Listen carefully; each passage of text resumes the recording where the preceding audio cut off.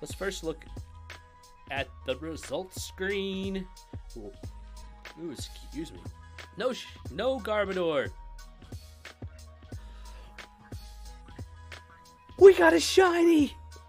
We got a shiny Emolga. Look at that! Ha ha!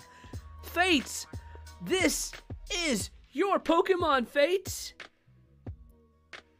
Would you like me to name it Fates of Otaku, or would you like me to name it something else? Ha ha! Thank you so much for being here. Emolga, no shiny Politoed, no shiny Xerneas. But we got an Emolga! Look at that bad boy! Yeah! You just want me to name it Fates? Yeah, buddy! Woo! That's how we do up here in Presto Ernest.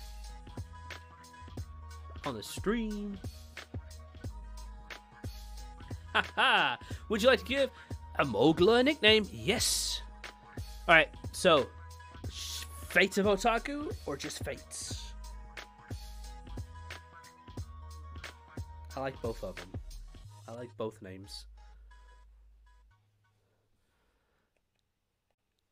Man, that's awesome.